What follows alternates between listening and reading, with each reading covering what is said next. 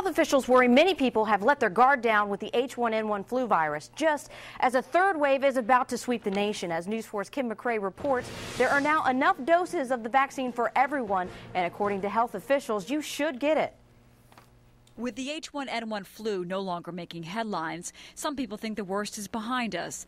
But federal health officials say another round may be around the corner, and the demand for the vaccine has slipped. The fear is, is that that this is a deadly disease and we need to stomp it out. Health officials say there is now enough doses of the H1N1 vaccine available, so everyone who had to wait for high risk people to be vaccinated first can now get vaccinated as well.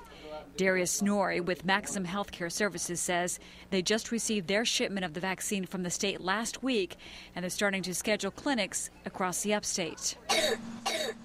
In March of 1958, the flu pandemic had a third deadly wave, two months after doctors gave the all clear, saying the virus was no longer a threat.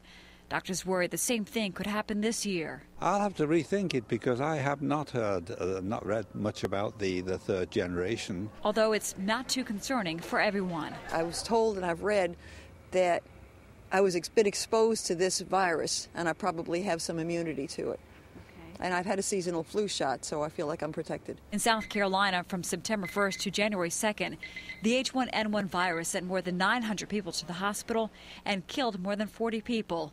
Again, the fear, we haven't even peaked yet. You know, the flu season really, as far as when the flu is in its, its highest, uh, when it's hitting the most people, is in February. Uh, January, February, March. So it's not like the season was in November, December, and you've missed the train. Kim McCray, WYFF News 4, Greenville. For the nearest H1N1 clinic, log on to our website at WYFF4.com.